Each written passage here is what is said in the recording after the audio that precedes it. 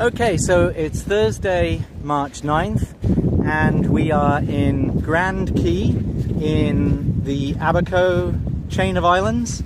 Uh, it's, uh, it's pretty remote here. We're pretty far from the madding crowd. Uh, the, um, uh, the weather has been interesting. It's been dry and sunny the whole time for our first week here. It, it's rained only very rarely. Uh, the challenge has been the wind there have been strong winds basically every every 48 hours or at most every 72 hours and from different directions. And for this reason, we haven't really been free to follow whatever uh, course we would have chosen for ourselves. We have to keep running from one bolt hole to protect us from northeast winds to another bolt hole that protects us from westerly winds to another bolt hole for protection from the southwest. Or, and so it's uh, we're feeling a, just a little bit hunted. This is a little bit typical for earlier in the season, December, January, February. This is fairly typical for this part of the Bahamas.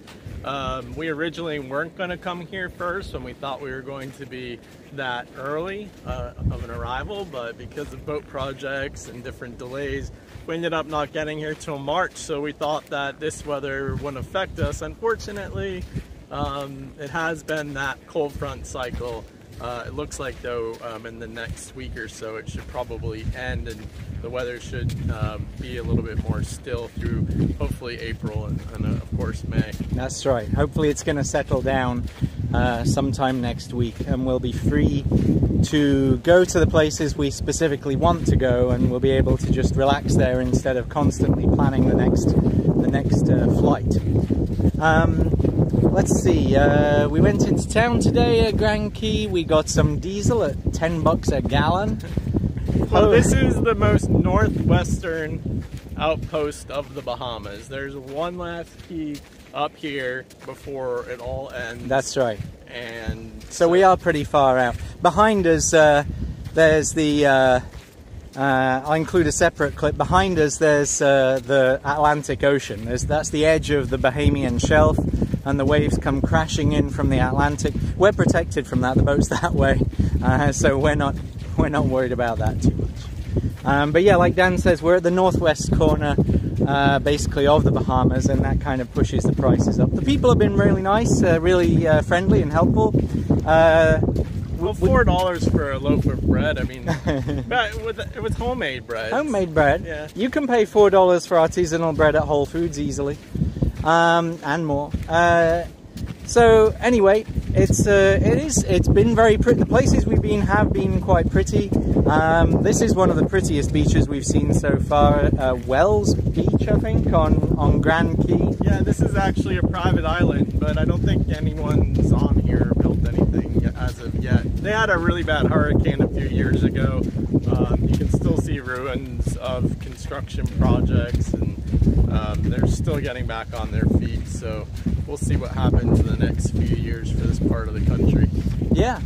So um, anyway, everything on the boat seems fine. We're using the tender a lot. Um, it's running well.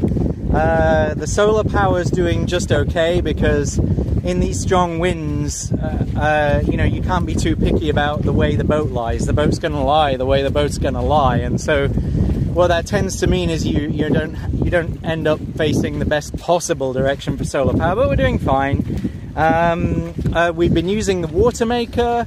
Uh, that's working well as far as we can tell. We've got a Rainman water maker.